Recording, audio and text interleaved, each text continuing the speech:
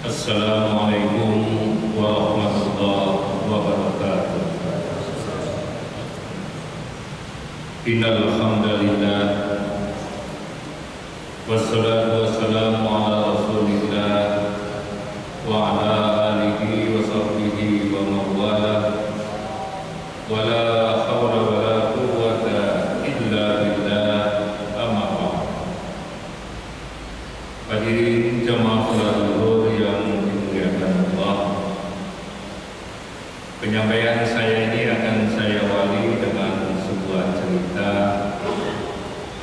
Suatu hari ada seorang kaya melihat seorang laki-laki muda menggelandang di tengah pasar, meminta-minta belas kasihan dari para pedagang.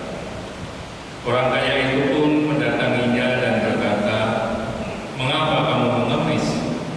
Padahal kamu kelihatan sehat dan kuat. Lelaki muda itu pun menjawab, saya tidak punya pekerjaan. Saya sudah lulus kuliah dan saya sudah berusaha sana kemari. Tetapi saya juga belum mendapatkan pekerjaan. Ah, kalau begitu, maukah kamu menjadi mitra bisnis saya? Tanya orang kaya itu. Alangkah terkejutnya lelaki muda mendapatkan tawaran tiba-tiba seperti ini. Benarkah yang Tuhan katakan itu? Katanya setengah tidak percaya. Iya, saya punya toko dan Anda bisa mengelolanya. Kita akan membagi keuntungan pada setiap akhir tahun. Betapa gembiranya hati lelaki muda itu dengan tawaran orang kaya tersebut. Sungguh saya sangat berterima kasih Tuhan telah datang sebagai penolong saya. Beberapa saat kemudian lelaki muda berkata, bagaimana kita akan melakukan bagi hasil? 20% untuk saya dan 80% untuk Tuhan atau Tuhan akan mengambil 10 90% saya akan menerima apa pun keputusan Tuhan.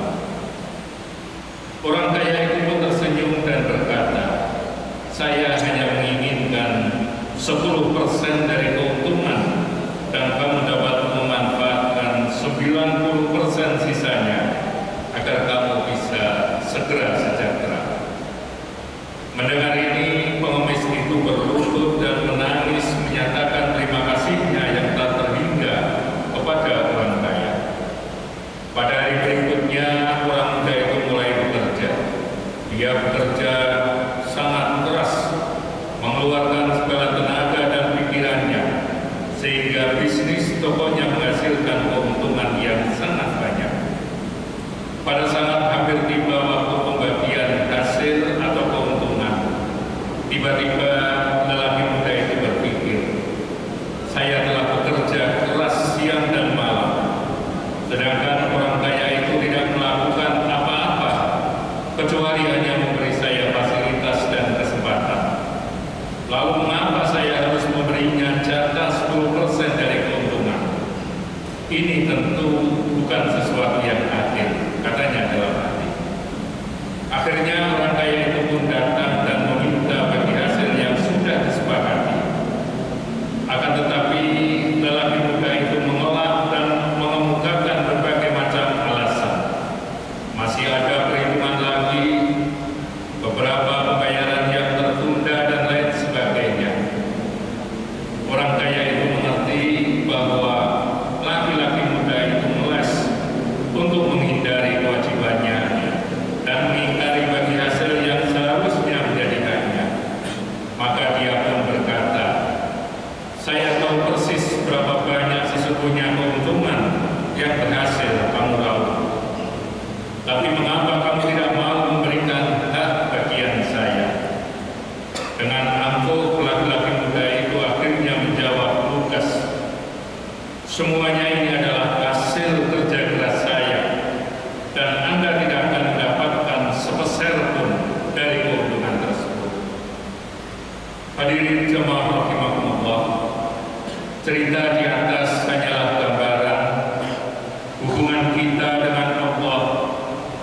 Kita manusia adalah makhluk fakir yang menggelandang di tengah pasar kehidupan.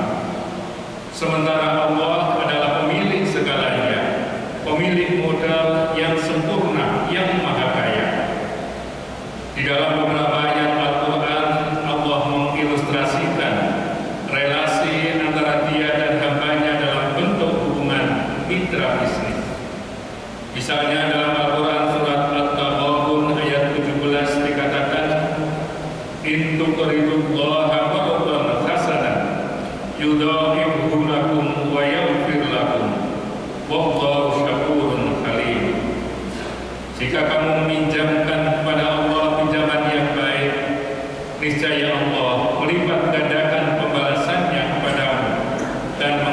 kamu dan Allah Maha Pembalas Jasa, lagi Maha Penyantun.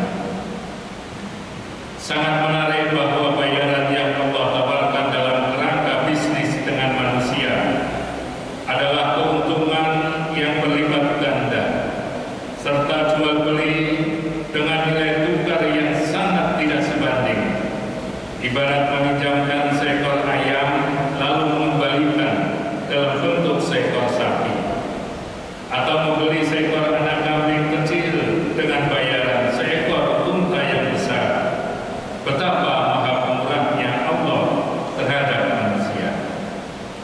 Hadirin jemaah rahimahullah.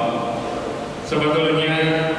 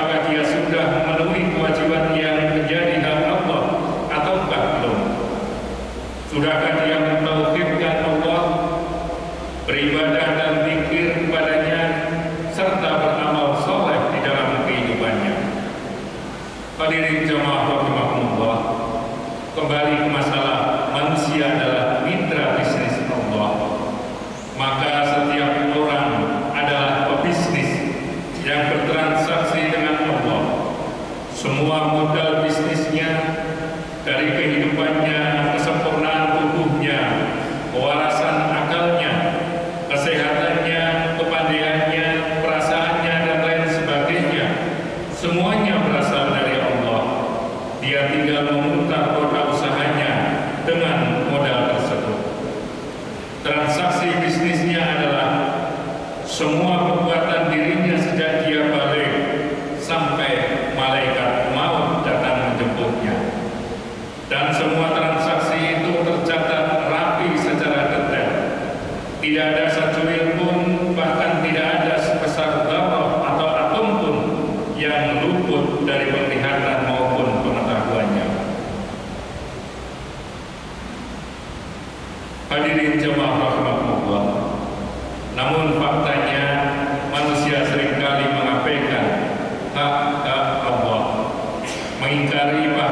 Yeah, have